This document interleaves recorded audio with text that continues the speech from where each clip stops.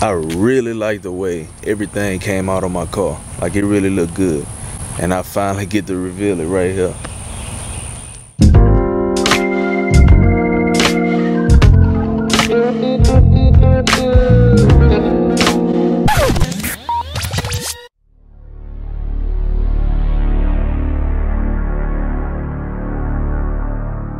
I'm authentic, real name, no gimmicks. That Boosie badass. Uh-oh. What up, people? Authentic Benny back at you with yet another video, man. Today, we got all this, bro. All this. All this. As you know, this is the Maya table. Got Mayas on top of Mayas right now. Had to move it over here. Boxes on top of boxes.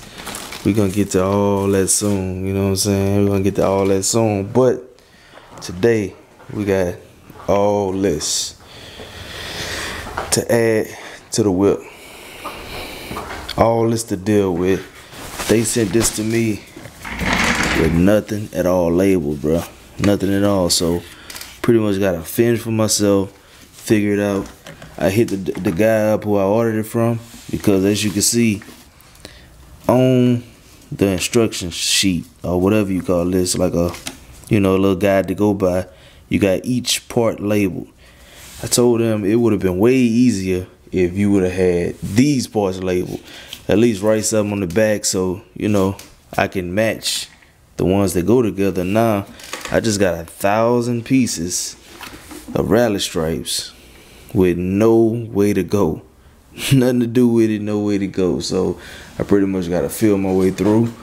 What I did right here, I got two. This is my starting point right here. I got two that pretty much match up to this front panel right here. So I'm gonna go ahead and use that as my starting point. I already got, I already matched them up. They look good. I already pre-cleaned it and everything. Now you do, they do give you the gap on them listed on the paper right here, which is like two and a quarter inches. So that's something to go off of. They don't tell you where to lay it out there. You pretty much just gotta find your center point. So you might hear them geese flying by, but in order to find your center point, you basically use a point of reference. I use the nostril right here. Nostril still ain't come in yet. I don't even want to talk about it. But I measure from the nostril all the way to this other nostril right here, which was 30 inches. Like dead on 30 inches. So pretty much no math involved. Cut that in half, that was 15. And as you can see, you might be able to see, I got a little bitty small mark on the grill.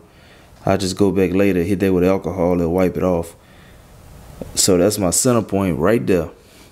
And as you can see, uh, they said two and a quarter. So I want an inch and an eighth on each side. That is where the end of my decals are lay. Right here and right here. If you see them two marks. Boom, boom. Like I said, I use a little sharpie to mark on the paint, but ain't, ain't no words. It'll uh it'll wipe right off. As soon as I lay this, I'm gonna wipe them off and it'll be alright. Lucky over there chilling, man. It's late night. Again, you know, I gotta get it in when I gotta get it in. So late night again, man. We getting it in. We providing this content and we gonna make it happen.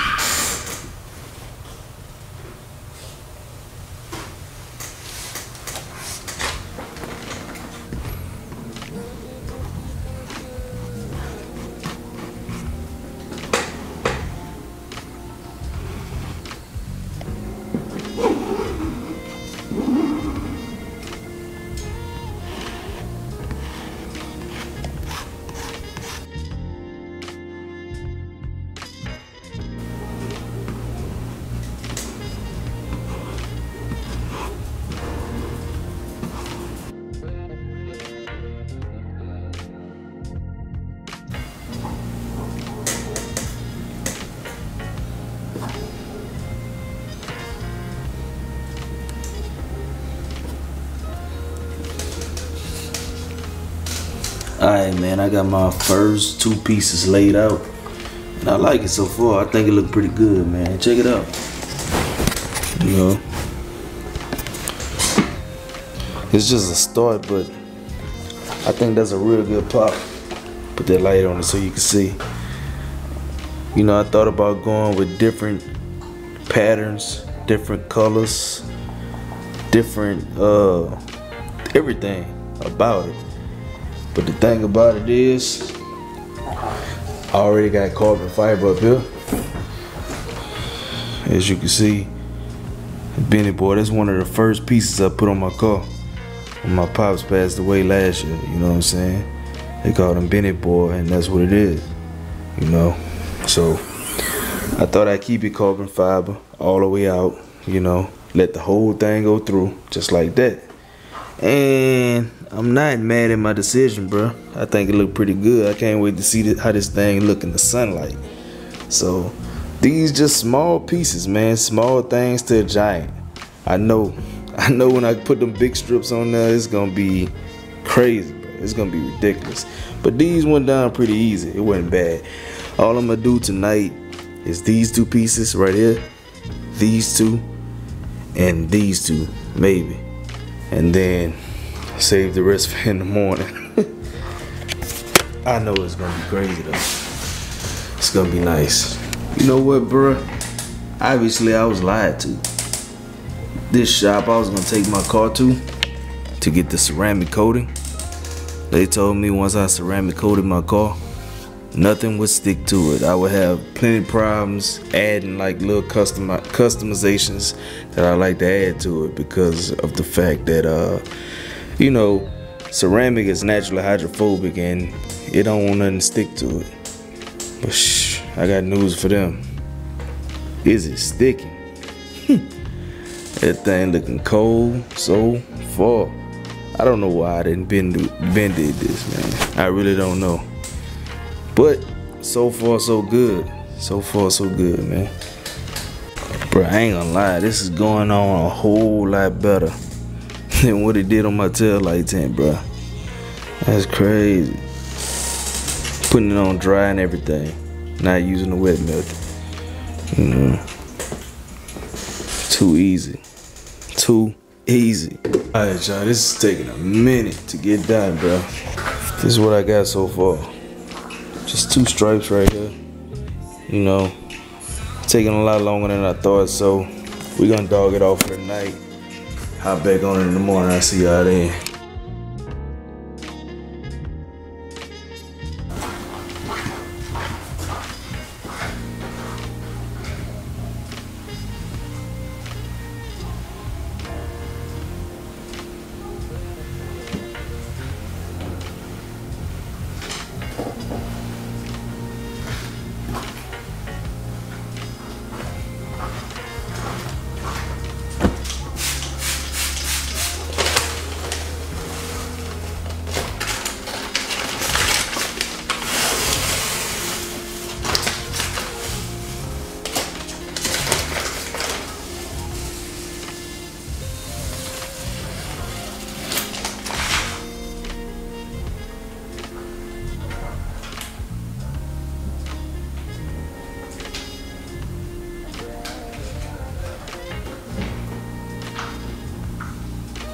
So yeah, man, I know I said I was about to go knock it out for the night.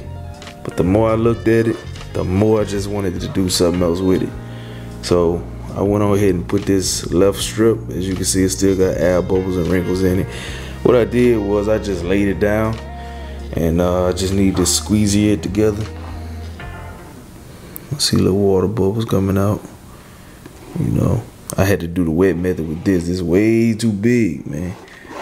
Could have used it dry if I had like uh you know somebody on the other side or whatever, but it's all good though.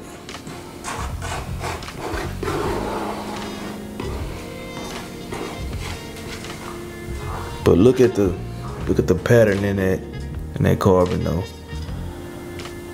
That's crazy, boy. Damn, that's good quality for real. All right, man, this is day two of installing the rally stripes. That's what we got so far.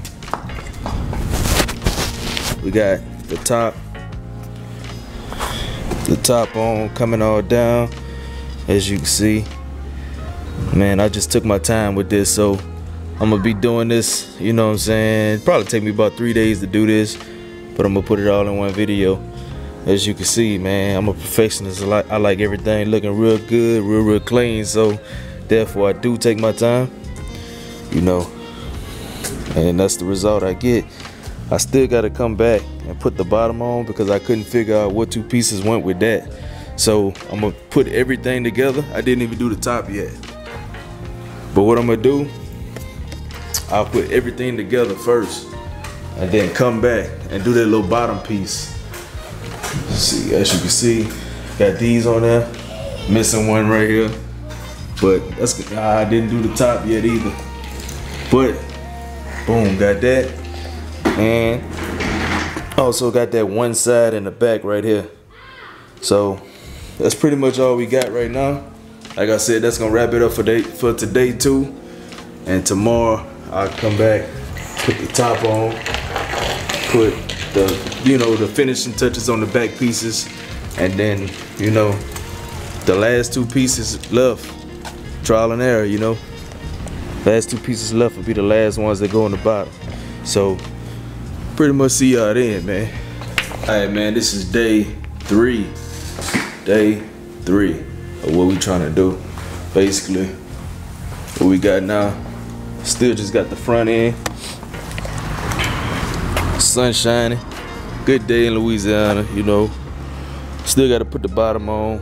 As you can see, don't have the top on yet.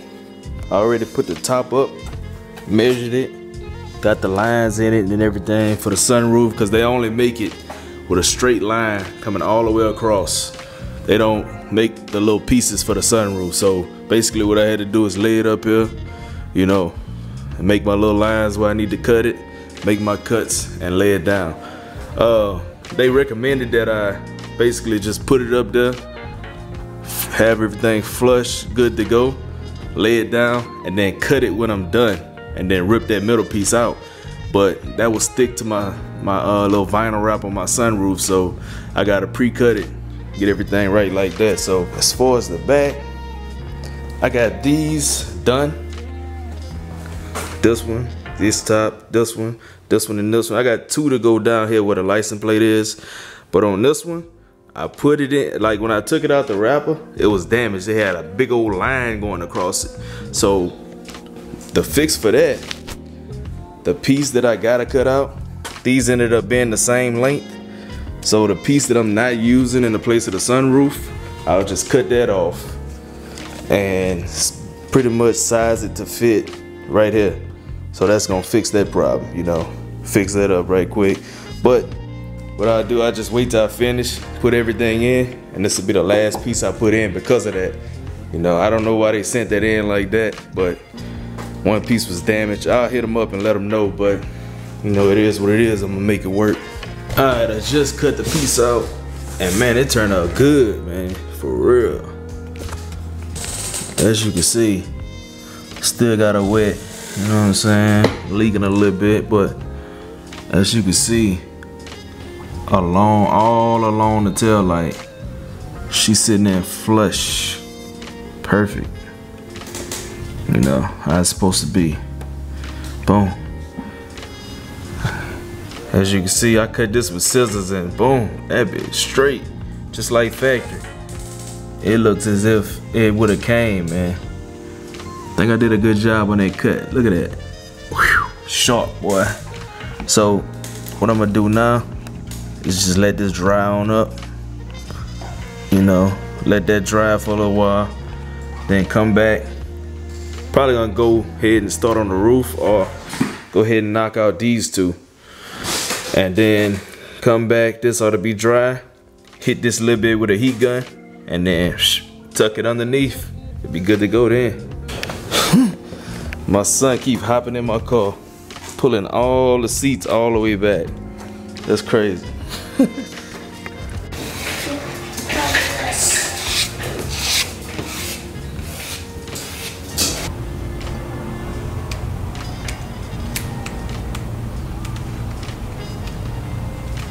Alright, I got these up here, done, in, ready to go. Let them dry before I tuck the edges away. While they drying, I'll do these at the front. And that'll finish off the whole front end when I get that bottom on there.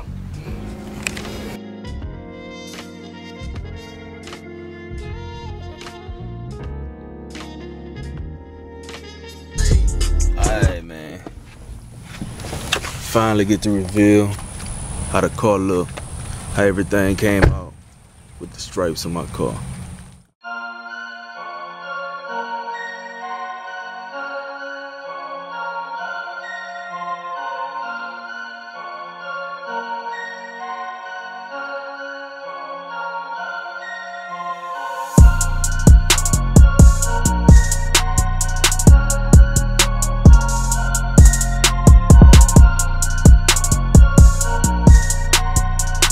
I just took my time with it, you know, got it done.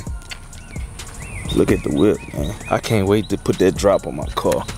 I'm on the hill right now, but this is roundabout what it would look like with the drop on it. Man, that looks so sick. But anyway, back to the stripes. Um, you know, I just took my time and did them. I end up, I don't know what the deal with the bottom piece is, but as you can see, it's got a certain gap all the way up, all the way along the car. And then you get down here and you got this little small gap. I don't know what's the deal with that. I already contacted the seller and uh, they're gonna send me another piece out. But I'm thinking about just going with a different type of wrap and black out this whole little piece. Like make my own little design and black out the whole little piece at the bottom instead of going back with stripes. That's the only problem I got with the stripes on my car. But other than that, everything looked good. Still missing my damn nostrils, you know. It's gonna be worth it when they come in, but man, they take forever to get here, bro. But they done, everything ready. The sun always go out when I'm trying to show my tail lights, but it look blacked out right now. But it's usually, you know, dancing right now. But yeah, man, that's it. It really came out good. The green still popping. There go the sun right there hitting it real good. But it really, really pops in the sun. You gotta see it. If you if you hadn't seen like the F8 green in person, go to the dealership or something and check it out. Like it's really completely different in person. Pictures, videos, do it no justice. Ever. You know, so that's the car so far, man. That's the new look. That's the new look, man. Let me know how y'all like it. If y'all like it, you know. Stuff like that. Let me know how you feeling about it. I really like the way it turned out. This is something that I said I wasn't gonna get for the longest. Or if I would add stripes, I would add stripes that was completely different from how the car looked. You know, from I mean from regular stripes. I would put something totally different. But at the same time, the reason why I went with these because I don't want I, I want my car to look different, but I don't want it to be too far out there to where it takes away from the car at the same time. So the reason why I went with these carbon stripes is because it, you know it's still a classic look. Still make the car look classic. They even come with these, you know. So I ain't losing nothing with this one. If you look at my old videos, I really like the way this car came out. If you look at my old videos, I talked about uh not going with the bronze wheels because I already had that G2 caliper paint painted orange and I didn't think the br the brush bronze would go with the orange uh caliper. But man, as you can see, as you can see that thing popping. That thing looks so good, bro. Looks so good. Look at that. Think I made the good decision, man, to do that. Like I said, I'm almost done with this bill. There's much more I could do with it. But this particular look, I think I'm gonna stick with it for a while. I think I'm gonna keep this particular look for a while before I switch it up again because it just looks so good. When you see the car, you already know who it's for, you know? And that's what I really, really like about this build. It's classic, but it stands out at the same time. As you can see the tat right there, the same color as the wheels. You know, classic and stands out at the same time. You know, from the wicker bill. Wicker bill was one of the first things I added on there. This 392 badge came later. And uh, we just did it like that. Got a Durango pulling up. It must be turning around. But of course we added the 2019 grill. We had the, the hash marks in orange. I took them off like six months after I got the car. Oh man. Didn't really add much, many things to the car, but the things that I did add, it was like subtle, subtle pieces but they changed the look of the car completely. And I really, really like the way it turned out. This car looked completely different with the factory wheels. If you go back in the video, the factory wheels with the with the tire stickers on it, that was a good look too. Put these wheels on, change the car completely again. You know, it, it, it really, it really gave the car a different stance, a different look like I said, man, I can't wait to drop this thing. I think that's gonna be the next mod. It's gotta be the next mod. Cause that wheel gap is ridiculous. It ain't really that big. It's just because I'm slanted down on the hill right now, but it's it's bad, you know, so we gotta fix that. But other than that, other than that, like I said, I'm gonna play it for a while, you know hit a few car shows let this let this uh, look be seen then hit them again with another switch up keep this exterior look for for now for at least like a couple months two three months or whatever before I change it up again. And uh, start working on the inside of the car